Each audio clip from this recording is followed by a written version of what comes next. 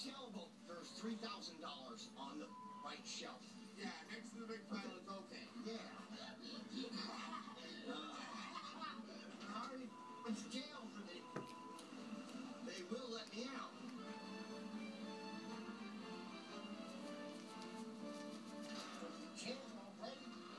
So what happened though? I drank some beer and went Dixie, and I got released. Listen, Mark, if you've already cleared it up, you've already been in jail over it, and, and this is a mistake, when you get there, they'll clear everything up.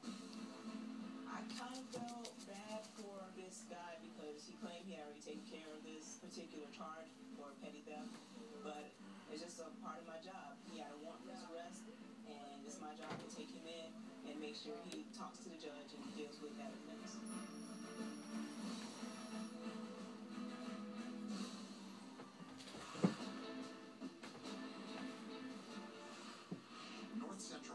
is home to the most uninhabited and unforgiving terrain in the state.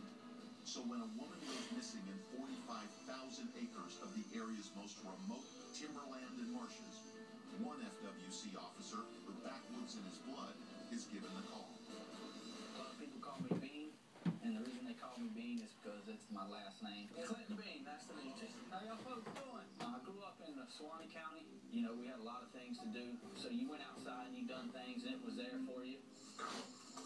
The cowboy hat it is issued to us. You can either wear this or a baseball hat. So I chose a cowboy hat. I wish you could wear it on a boat. I wish it had a chin strap, but it doesn't. You need to go somewhere else, okay?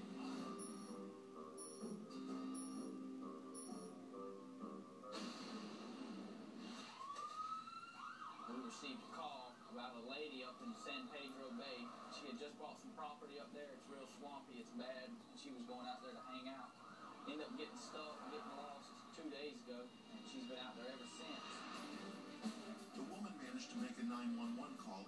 truck got stuck in the mud en route to her small parcel of land. But she had no idea of her exact location.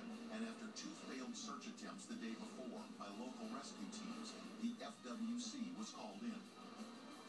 Local sheriff's deputy, Joseph Knight, will also ride with Officer Bean on his backwoods hunt. You'll be my navigator.